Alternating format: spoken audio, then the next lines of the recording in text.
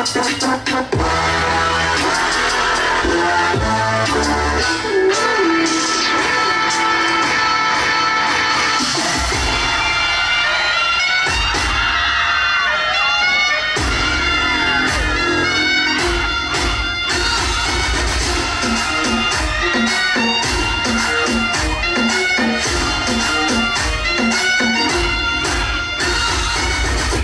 me introduce you to my party people in the club.